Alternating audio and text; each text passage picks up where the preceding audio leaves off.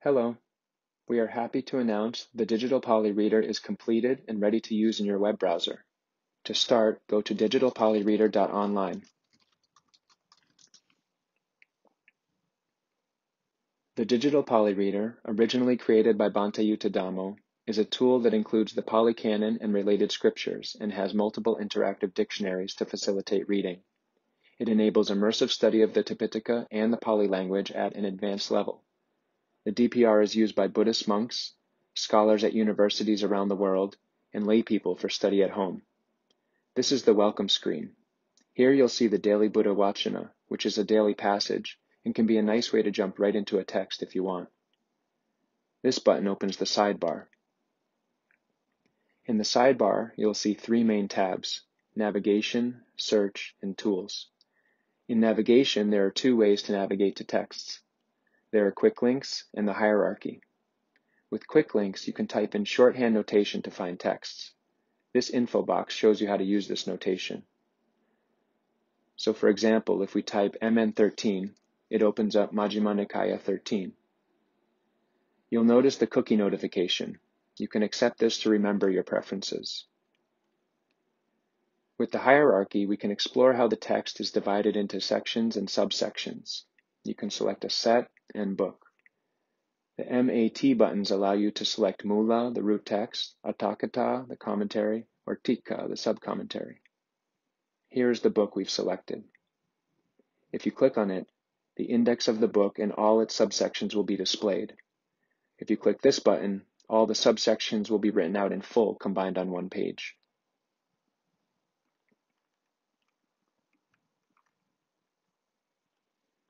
Each of these drop-downs contains the subsections of the section selected above it.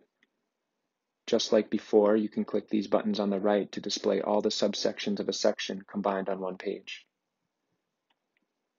To view the individual sections selected at the bottom of the hierarchy, click here. Here are the history and bookmark menus. You can press the B key to make bookmarks.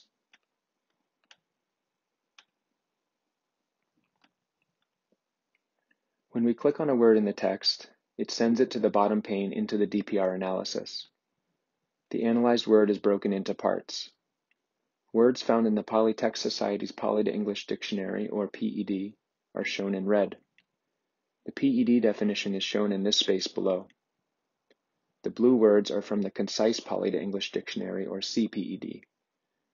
Words from the Dictionary of Pali Proper Names are linked to with a green N.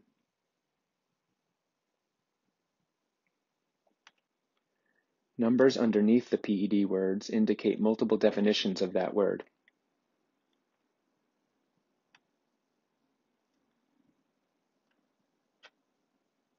This word breakdown menu lets you choose different ways to break up the analyzed word so you can find the breakdown you are looking for.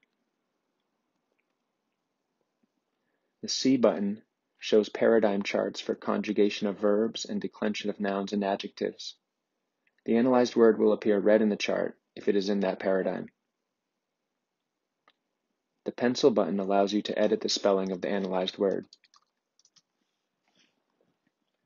These arrows go to the next or previous word alphabetically in the PED. History shows the words you have looked up. These side buttons open up this dictionary pane, a conversion or transliteration tool, a text pad, a translation tool, and a conjugator. This button opens up the context menu. The context menu gives you quick access to various features. For example, you can go to the next or previous section of text with these arrows. This goes to the book's index. The MAT buttons go to the root text and commentaries. You can switch between the Thai and Myanmar slash Burmese Tipitakas with the capital M and T buttons. Notice variant readings are shown in the text, which can be toggled on and off in the settings. These icons open side-by-side -side English translations of the text. If you click on these diamonds, it sends a permalink to the clipboard. When you go to the permalink, the chosen portion of text will show a green diamond next to it. In the Search tab, you can search for words in the texts. The search box accepts words typed in Velthuis or Unicode to give letters diacritic marks. You can look at this info box for help with Velthuis. For example, if you type period M, it writes a Niggahita, or the M with a dot under it. If you type two A's in a row, it writes a long A, or the A with a bar over it. When you click Search, you can stop the search with this red button. You can click on different results of the search to see what texts those terms are found in. The RX box lets you use regular expressions to search for patterns of text. This dropdown allows you to choose where you want your search to take place, be it within multiple sets, books in a set, a single book, or part of a book. The check selects all or deselects all. The Tools tab gives you access to dictionary searches and other resources. We can type a word into the search box using Velthuis again. This dropdown selects what dictionary you will search. You can also use the DPR analysis tool here. Words not found in any dictionary will appear black in the DPR analysis. The advanced options include regex again and a fuzzy search. When your search term does not appear in the selected dictionary, you'll get a few suggestions of what you may have meant. When you click Fuzzy Search, you get many more suggestions and approximations of your search term. Full text allows you to search for a term that appears within dictionary definition entries.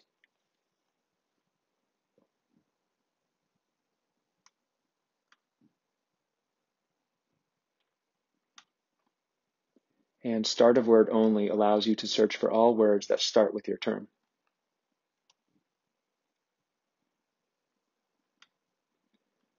Pali Language Resources includes useful links. Then we have the buttons at the top of the sidebar. This button brings you to the welcome screen. This button allows you to install the DPR for offline use. Google Chrome is recommended for offline use. Select all the components you wish to download and click OK. You will see a progress bar begin in the sidebar. When it's finished, you will be able to use the downloaded components without a network connection. You may also install the DPR as an app by clicking here. This will add a shortcut to your device as well.